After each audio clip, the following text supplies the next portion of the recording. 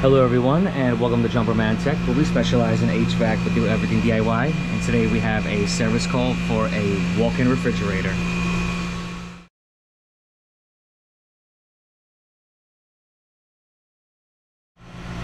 Thank you to everyone tuning in to Jumperman Tech. Today we're working on a water-cooled split system walk-in refrigerator. We got the gauges on this system. As you can see we have no refrigerant. The refrigerant has been recovered and today we're here to replace the expansion valve.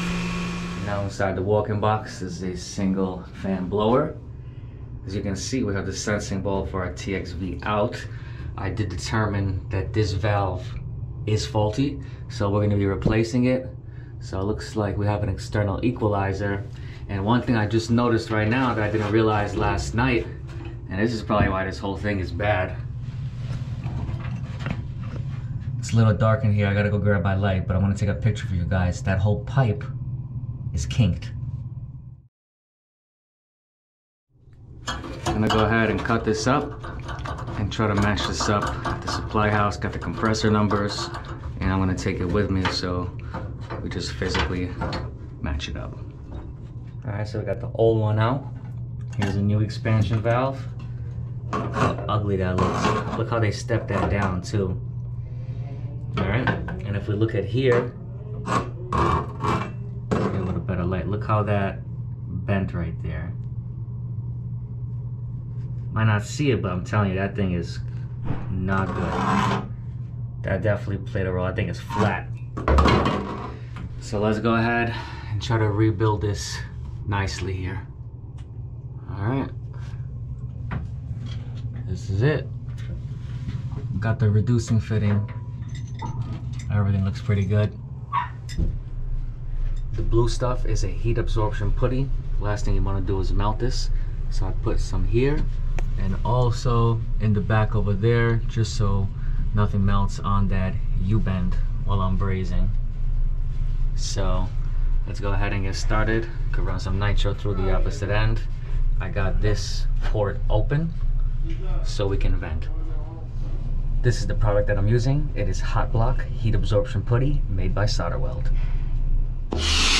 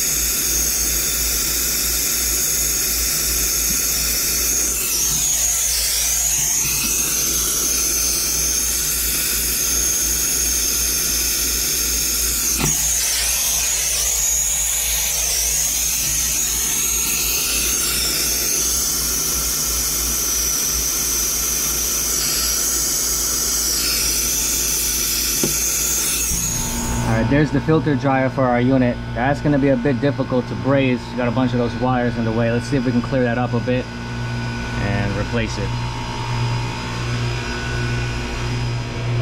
Just going to cut this one out the way. Alright, got the old one out. There's an arrow. You want to follow that direction.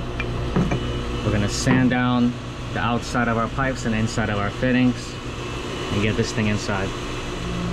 I was able to move the control panel and this control out the way a bit. So we have a bit more access. The bottom should be good. That one's gonna be a bit tough to get to.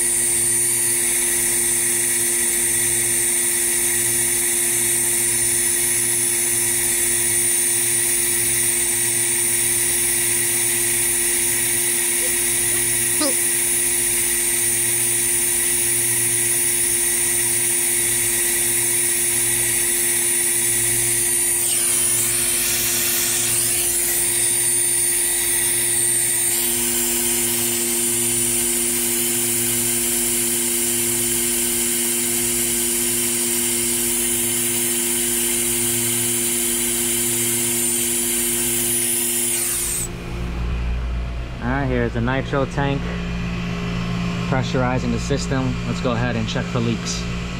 The solution I'm using is Cal Blue Plus Micro Gas Leak Detector. Just spray this side, looking good over here. All right, it's looking good over here. No leaks, we're gonna release the nitro, drop this thing in a vacuum. Hey, hey, how you doing? Look who came to work today. Who is this? What are you doing here? Drinking liquor? You came to work. Alright, we're officially in the vacuum. It's only been a few minutes. Look, we're already below a thousand microns. That's awesome. So, let's go ahead and give this thing a chance. Let it vacuum. We're probably gonna go out to lunch. Let this thing be. And hopefully we got a nice reading but considering we're already at 961 and it's only been like 10 minutes or so I'd say that's a great sign. So let's let this thing vacuum out and hopefully this machine's gonna work. All right that's looking pretty good. 651 and dropping. Let's go ahead and put back together everything at the indoor unit. All right there it is. We're all wrapped up to go. Also tighten down the suction line bulb over there, the filler bulb. We just gotta insulate it. I got my tank.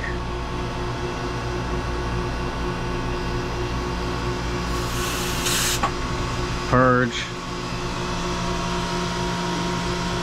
Zero out the system. We're using 404A and let's let's see what she takes. Split system. Just wondering, it says it doesn't say any ounces or anything, but it says max, I mean, it says 30 and then max 35 next to refrigerant. So I'm wondering if that's ounces. Let's see what she takes. Luckily, there is a sight glass in this system. All right, got a pretty high back pressure, but the box is like almost 80 degrees. So let's give this thing a chance and let's see what happens. I got 36 ounces in there. It said 35 minimum and then 30 and then 40 max so i'm assuming that's ounces of refrigerant. It's not that long of a run. All right guys that's looking a lot better. Got a 41 degree suction line 9.1 degree superheat. Not bad. We got 36 ounces in here. Set between 35 and 40 okay. All right we're at 43 degrees. We're almost there